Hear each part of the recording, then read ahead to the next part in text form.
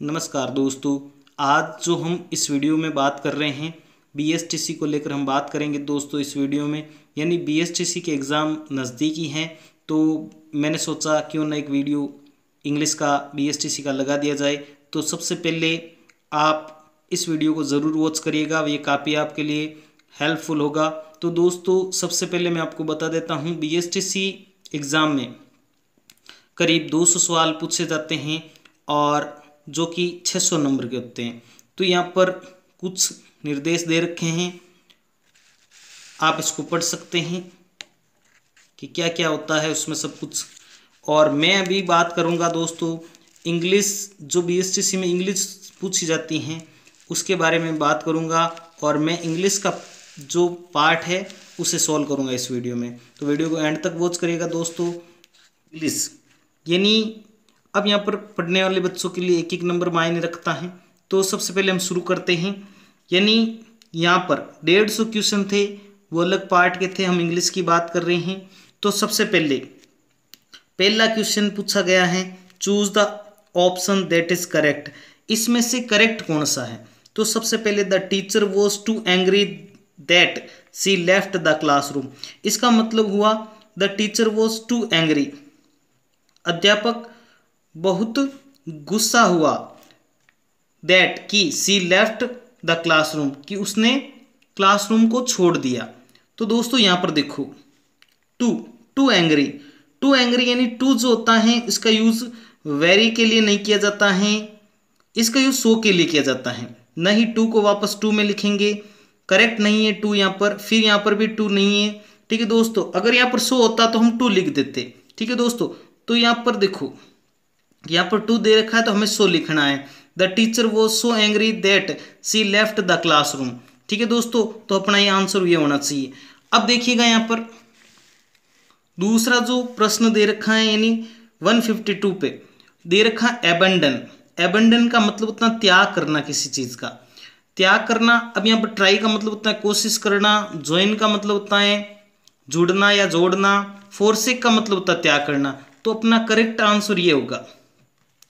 फोर्सेक का मतलब होता है त्याग करना, उसी तरह यहाँ पर एबंडन का मतलब होता है त्याग करना। क्योंकि इसका क्लोज क्लोसेट इन मीनिंग पूछा है कि इससे सबसे ज़्यादा नज़दीक कौन है इसमें? और फिर है एडॉप्ट एडॉप्ट का मतलब वही गोद लेना। तो इसमें हमारा करेक्ट जो मीनिंग आ रहा है वो है फोर्सेक फिर है दोस्तों 153 पे इंटेंगल इंटेंगल का मतलब होता है फंसना या फंसाना। तो यहाँ पर देखिए, इसमें ऐसा कौन सा इसके ऑपोजिट जो वर्ड है, वो है। यानी इंटेंगल का मतलब फंसाना होता है, यानी सीधा करना उसका क्या होगा? तो उसे कहते हैं अनट्विस्ट ठीक है दोस्तों?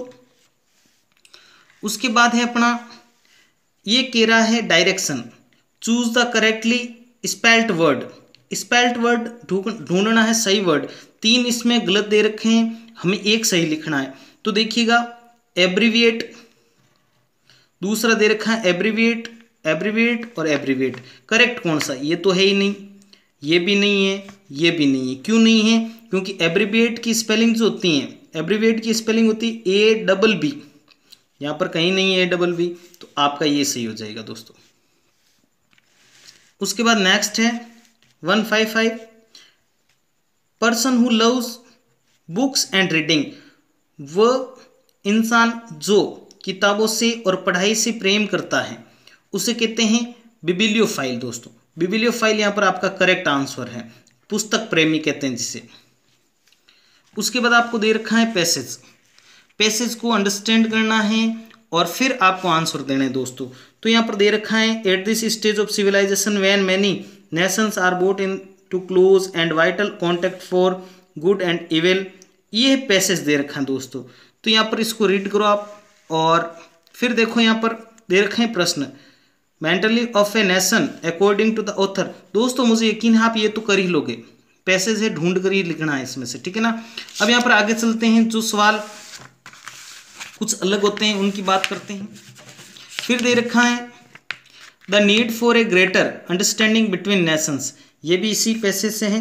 इसमें एक दे रखा है, ये वर्ड काफ़ी मायने रखता है हमारे लिए।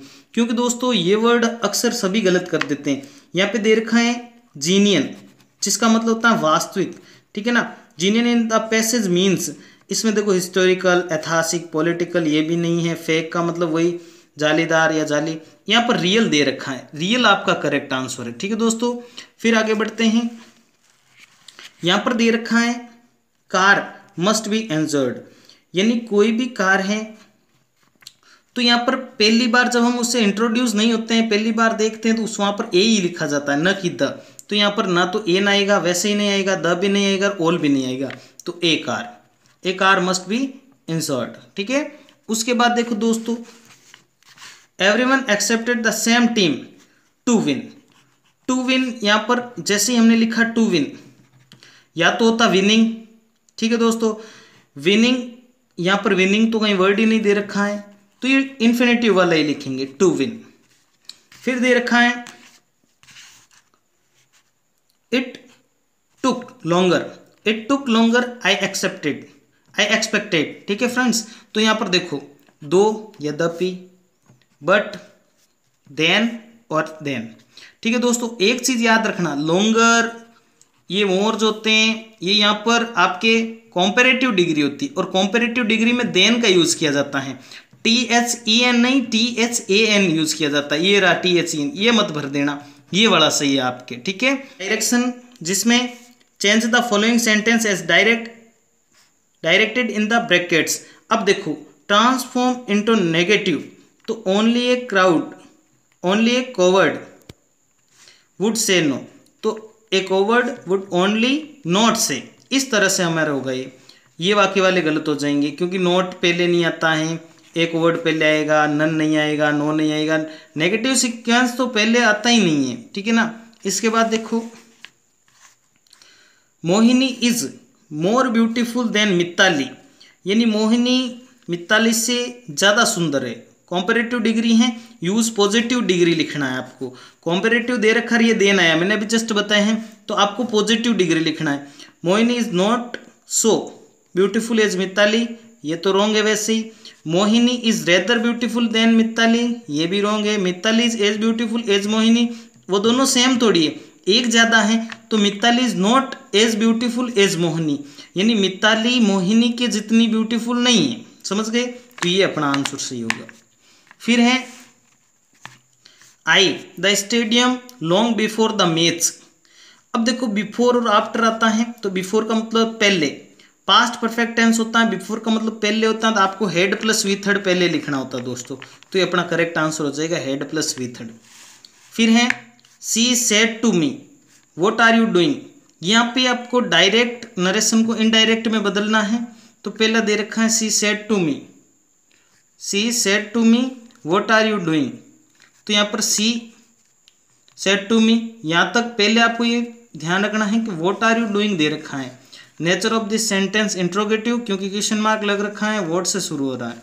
तो यहाँ पर सबसे पहले लिखेंगे माइनर चेंज करते समय सेट टू की जगह आस्क तो लिखेंगे सी आस्क्ड मी फिर देखिए यहाँ पर कंजक्शन नहीं लगेगा, क्योंकि डब्ल्यू एच वर्ड है और इंट्रोगेटिव में कंजक्शन नहीं लगता जब डब्ल्यू एच वर्ड होता है। अगर हेल्पिंग वर्ब होती तो लग जाता इफ़ या वेदर अब यहाँ पर वोट का तो वोट लिख दो। अब यहाँ पर देखो सब्जेक्ट यू है। सेकेंड पर्सन है, इसके अनुसार बदलेगा, ऑब्जेक्ट के अनुसार। तो यहाँ पर आ जाएगा आपका आई और देखो आर दे रखा है तो इज़ आर एम को चेंज करते हैं वोज वर तो ये हो गया past continuous I was doing तो ऐसा किसमें दे रखा है? सी आस्क मी, फिर हो गया यहाँ पर। She asked me what I was doing ये वाला सही, बाकी सब रहोगे फिर देखो, ये दे रखा है इसमें choose the correctly spelled word इसमें डिज़ीज़ की स्पेलिंग आपको करेक्ट आनी चाहिए। तो यहाँ पे देखो, ये भी गलत है, ये भी गलत है, ये भी गलत है, क्योंकि डिज़ीज़ की स्पेलिंग ये होती है, जो कि यहाँ पर दे रखी है। ठीक है?